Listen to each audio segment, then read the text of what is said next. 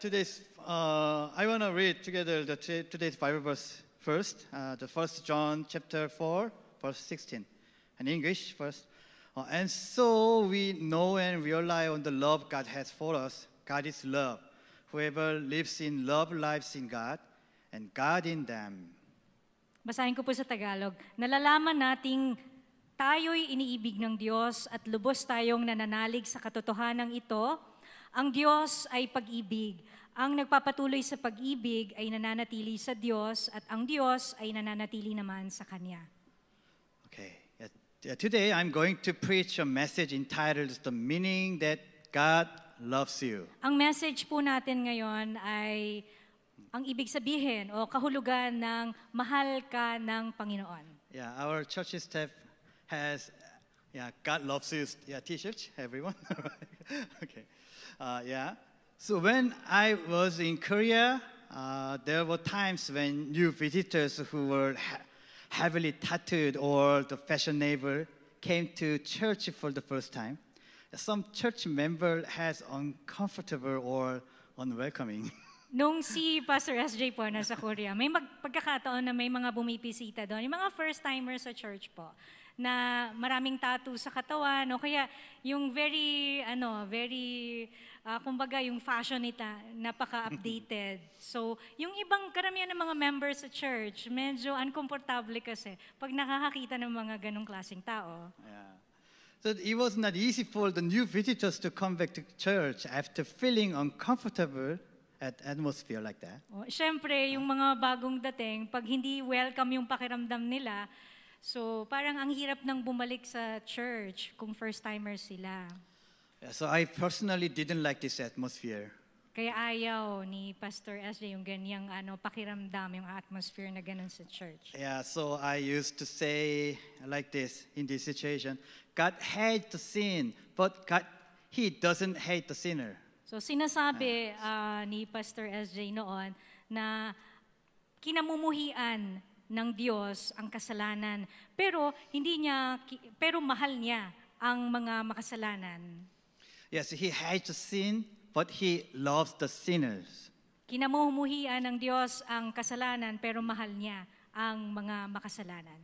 At this sentence, my intention was that even if they had sinned, uh, they should still be given the opportunity to come to church again.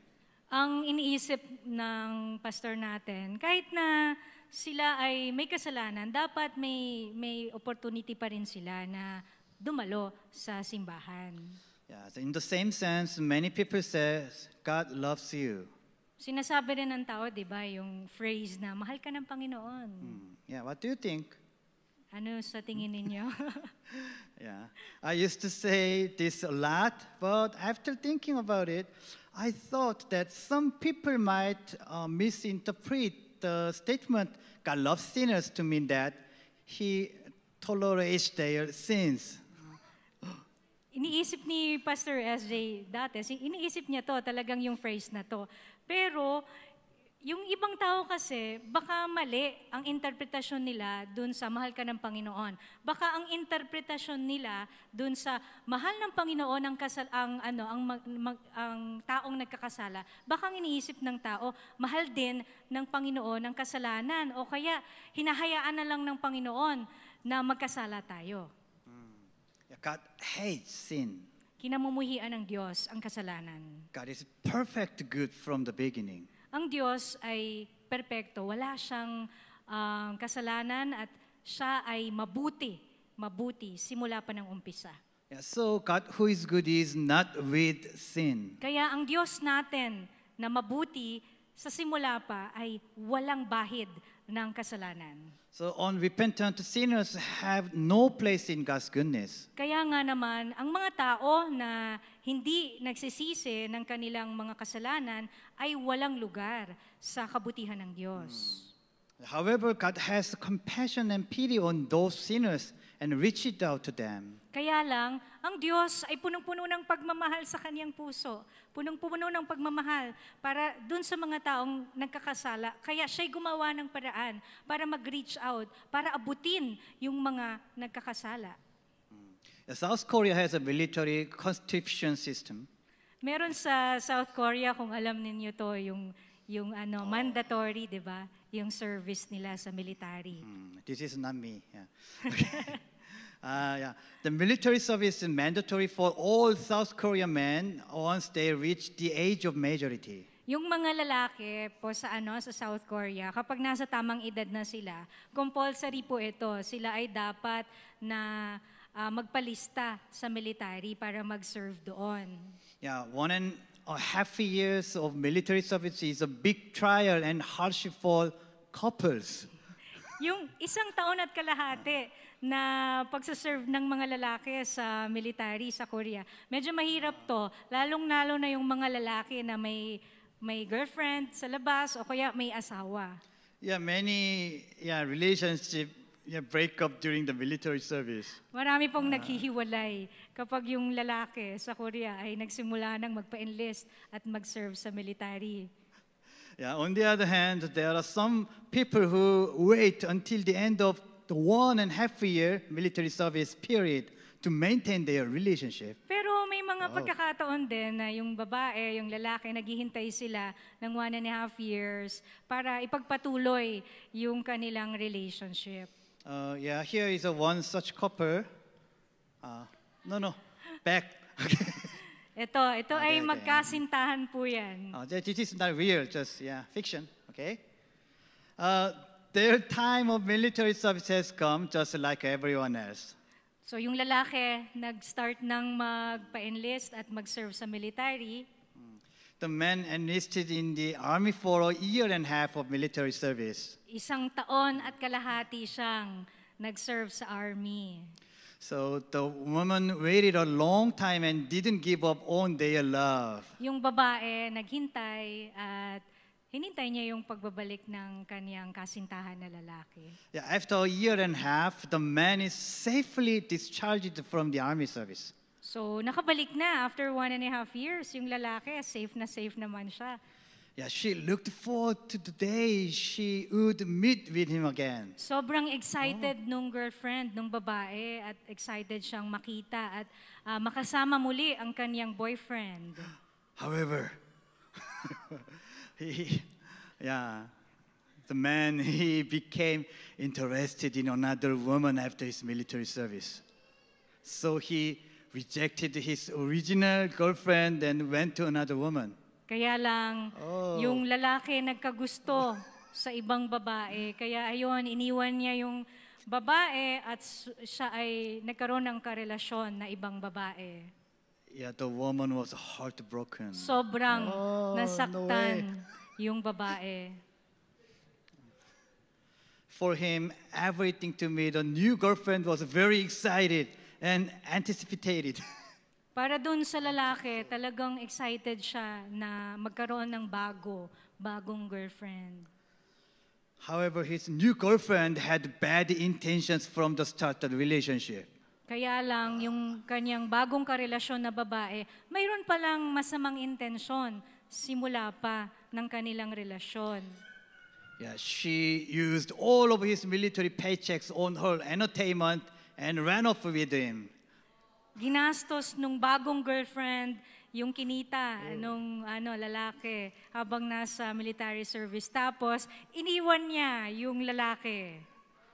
The man regretted it and went back to his original girlfriend. Kaya yung lalaki, syempre pinagsisihan niya yung naging desisyon niya.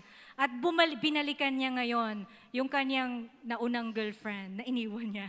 And then he said, Ito yung sinabi niya. I guess I was crazy for a moment.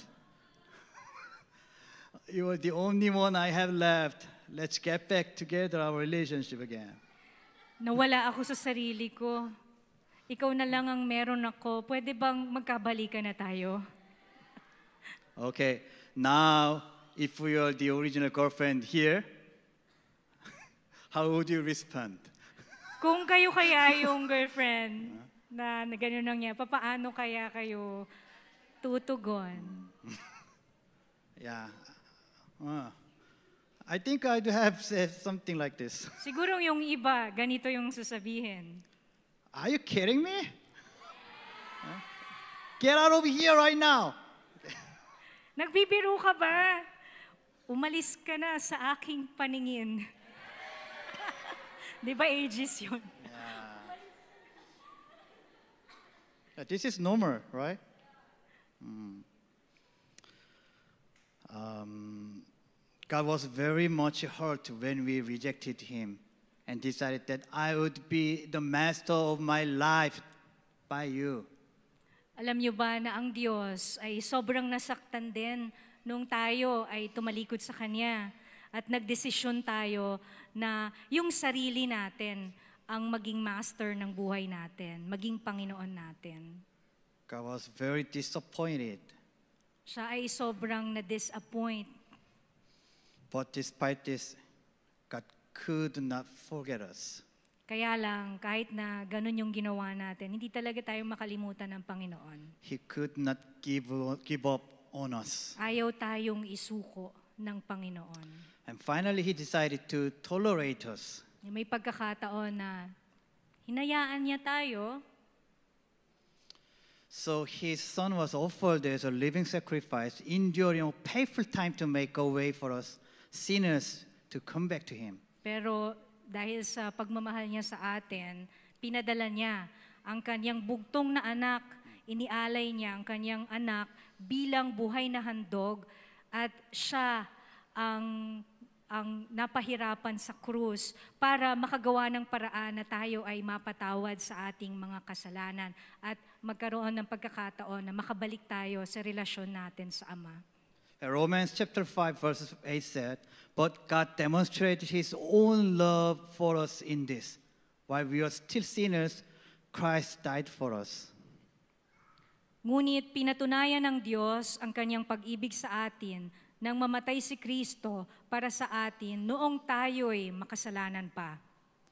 Yeah, 1 John chapter 4 verse 10 said, This is love, not that we loved God, but that he loved us and sent his son as a atoning sacrifice for our sins. Ito ang pag-ibig. Hindi sa inibig natin ng Diyos, kundi tayo ang inibig niya at isinugo niya ang kanyang anak upang maging handog para mapatawad ang ating mga kasalanan. Right. God loves us. Totoo ngang mahal tayo ng Panginoon.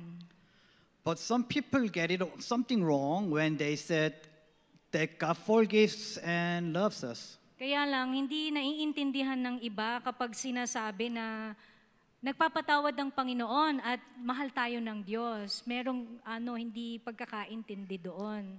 They said, God loves me just as I am. Sinasabi ng mga taong ito na hindi nakakaintindi, mahal ako ng Diyos kung sino ako. I don't have to repent of my sins. I don't need a savior. I don't have to worry about going to hell. Eh, Dahil mahal ako ng Diyos, hindi na ako kailangang magsisi sa kasalanan ko. Hindi ko na kailangan ng tagapagligtas. Hindi na rin ako dapat mag-alala na pupunta ako sa impyerno. Because of God who loves everybody unconditionally will not ever send anybody to hell. Dahil ang Diyos natin ay mahal ang lahat ng tao na walang kondisyon. Kaya dahil siya ay pag-ibig, hindi niya papadala ang kahit na sino sa impyerno.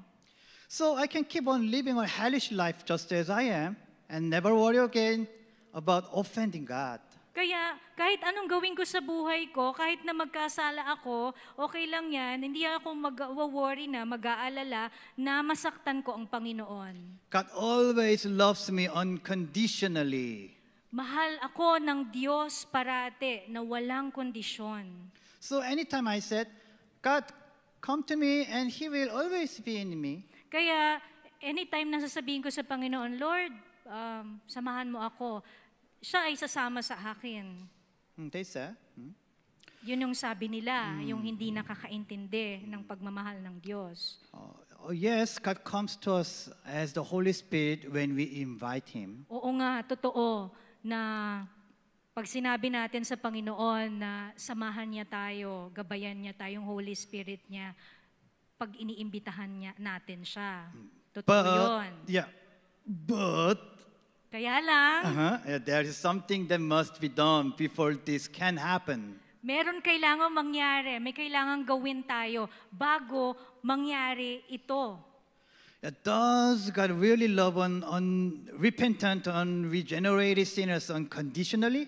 Mahal nga ba talaga ng Diyos ang isang tao na hindi nagsisisi sa kanyang kasalanan, hindi nagbabago, mahal kaya niya ito ng walang kondisyon? You will not find that any place of the Bible. Hindi po natin to matatagpuan sa Biblia.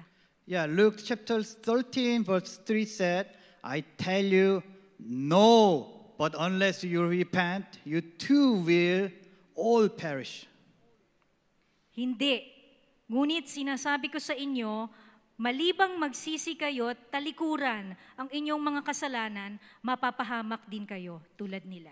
Yeah, Acts chapter 3, verse 19 said, Repent then and turn to God so that your sin may be wiped out, that times of refreshing may come from the Lord. Kaya nga, magsisi kayo at magbalik loob sa Diyos upang patawarin ang inyong mga kasalanan. God waits for us, but that doesn't mean He accepts our sin. Tayo po ay hinihintay ng Panginoon, pero hindi ibig sabihin nito, tinatanggap niya ang ating mga kasalanan. God hates sin. Kinamumuhian po ng Diyos ang kasalanan. He demands accountability for sin in life. Tayo po ay haharap sa Diyos at mananagot sa bawat ginawa nating kasalanan. After that, He demands accountability in hell. Pag tayo po'y namatay, tayo po ay haharap at tayo po ay mananagot sa ating mga kasalanan. Unrepentant sinners cannot go to heaven. Ang mga tao po na hindi nagsisisi ng kanilang kasalanan ay mapupunta sa impyerno. Yeah, that, that is why there are certain things we must do before God. The Holy Spirit can indwell our spirit. Kaya nga po, may mga bagay na kailangan tayong gawin bago po ang Holy Spirit ay magduel, manatili sa ating buhay. Okay, go back to the story of the military boyfriend. Okay, what does the boyfriend in the previous parable have to do, to return to the girlfriend who waited for him? Ano bang kailangan gawin ng lalaki doon sa story natin kanina para magbalikan sila nung girlfriend niya na naghintay sa kanya? If he said, I've been seeing other women, but it's nothing. Let's get back together like we used to. Kung sasabihin ng lalaki, oo nga, nakipag-date ako sa ibang babae, pero wala yun eh. Is it Mag- okay to do? magbalik, magbalikan na tayo katulad ng dati. Yeah, is it okay to do that? Okay lang ba, ba na gano'n? Yeah, no. To return to the real love that waited for her, he must first admit his mistake and turn around. Ang kailangan gawin ng lalaki para makapagbalikan sa babae ay aminin niya muna na siya ay nagkamali, nagkasala, at talikuran niya yung ginawa niya. Yeah, he has to say like that. I was wrong. I'm really sorry. And from now on, I will never look at another woman, and I will live only for you. Ito yung dapat gawin ng lalaki. Ito yung dapat niyang sabihin. Nagkamali ako, patawarin mo ako. Simula ngayon, hindi na ako titingin sa ibang babae at mabubuhay ako para sa'yo. Yeah, When this confession is followed by action, the original love can be restored. Kung ang salitang ito, pangakong ito, ay nasundan ng kilos o ng action, ang, ang pag-ibig nila ay babalik. God has made one absolute condition for salvation. May isa lamang pong kondisyon para tayo ay maligtas. Uh, God's love is unconditional, but on the other hand, God's love is absolutely conditional. Ang pag-ibig ng Diyos ay walang kondisyon, pero ang kanyang pag-ibig ay may kondisyon. Yeah, okay. Do, do you understand?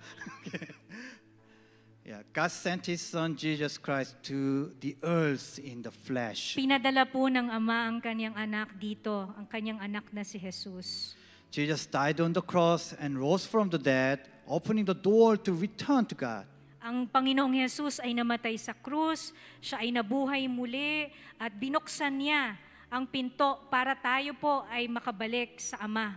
Yeah, Christ has told us to repent of our sin of living as a pleased before the blood of Jesus Christ and to accept and receive Jesus as the one who paid the price for our sins. Sinabi po ng Panginoon na tayo ay magsisi sa ating kasalanan at mabuhay tayo na kalugod-lugod sa Diyos sa pamamagitan ng banal na dugo ni Jesus at um, tanggapin natin ang Panginoong Jesus bilang siyang nagbayad ng ating ah, kaligtasan sa krus.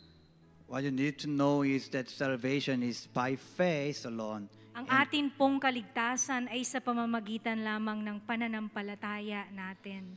And faith alone in Jesus Christ is followed by repentance. At yung pananampalataya pong ito, kung ito'y totoo, ito po ay sinusundan ng pagtalikod sa kasalanan. or turning away from sin, Pagtalikod sa kasalanan at pagsisisi. or hatred for the things that God hates, and a love for the things God loves.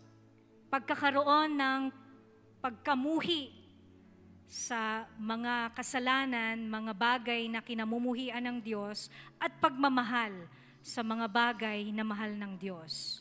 God makes us grow in holiness and desire not to be like the great majority of major sins of the world, Tinu- but yeah, to be like Jesus Christ. Yeah. Tinutulungan po tayo ng Panginoon na lumago tayo ng may kabanalan sa ating buhay at binibigyan niya tayo ng pagnanasa sa ating mga puso na mamuhay na hindi katulad ng mga tao sa mundo, hindi isang buhay na makamundo. Yeah, this, this should be our confession. My confession that Jesus is my Lord and that I will live for Him should follow through in my life. Yung babanggitin po ng ating mga labi na ang Panginoong Jesus, ang ating Panginoon, at ang buhay natin ay magpapasakop sa Kanya. God's love and the Lordship of Christ must be revealed through my life. ang pagmamahal ng Diyos at ang pagiging Panginoon ng Diyos sa ating buhay ay dapat makita. It's not restricted to Sunday service only. Hindi lamang Panginoon natin si Jesus kapag linggo. It's not restricted to the Wednesday prayer set. Hindi lang tuwing Wednesday ang Lord natin si Jesus. It must be evident in my family. Kailangan makita ito sa ating mga pamilya. It must be evident in marriage. Kailangan makita ito sa sa asawa o sa sa marriage natin. It must be evident in parenting. Kailangan makita ito sa paraan ng pagpapalaki ng anak. It must be evident in my job. Kailangan makita ito sa ating trabaho. It must be evident in my school. Kailangan makita ito sa ating mga eskwelahan. It must be evident in my offering. Kailangan makita ito sa ating pagbibigay. It must be evident in my relationship. Kailangan makita ito sa ating mga relasyon. Everything must be evident in our life under the Lordship of Jesus Christ. Kailangan makita ang pagiging Panginoon ng Panginoong Yesus sa ating buhay sa lahat ng aspeto ng ating buhay. Yeah, through my life, the heart of God who decided to redeem the undeserving me must be revealed. Sa pamamagitan ng aking buhay, kailangan makita ng ibang tao ang Diyos na nagpatawad sa akin kahit na ako ay hindi karapat-dapat. Through my life, the heart of the Father who is still waiting for me to repent and return must be revealed. Kailangan sa aking buhay makita ang puso ng Ama na siya pa rin naghihintay na ako ay magsisi at bumalik sa Kanya. Kailangan makita ito. Through my life, the love, love of God who choose to forgive us must be revealed. Sa pamamagitan ng aking buhay, dapat makita ang pag-ibig ng Diyos na siyang nagpatawad sa atin. God is love. Ang Diyos ay pag-ibig. And God wants to show the world that God is love through the children of God who died and live again in Christ first.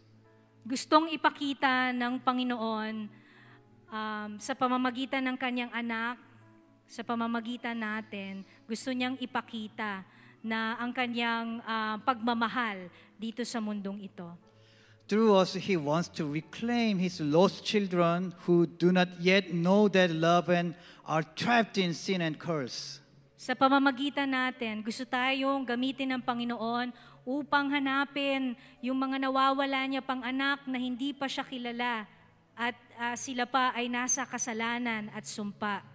This is what God loves you. Ito ang ibig sabihin ng mahal ka ng Diyos.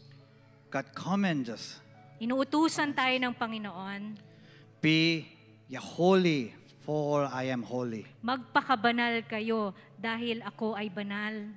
Turning away from sin, Magsisi kayo sa inyong mga kasalanan. a hatred for the things that God hates, and a love for the things that God loves.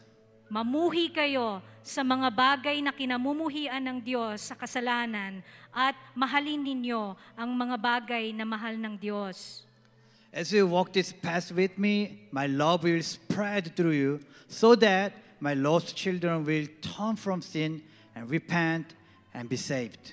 Habang tinatahak natin ang ganitong landas, namumuhay tayo sa ganitong paraan, yung pag-ibig ng Panginoon ay dadaloy sa ating buhay at yung mga nawawalang anak niya ay ah, makakabalik sa Kanya. Sila rin ay ma- ah, tatalikod sa kanilang kasalanan at sila rin ay maliligtas.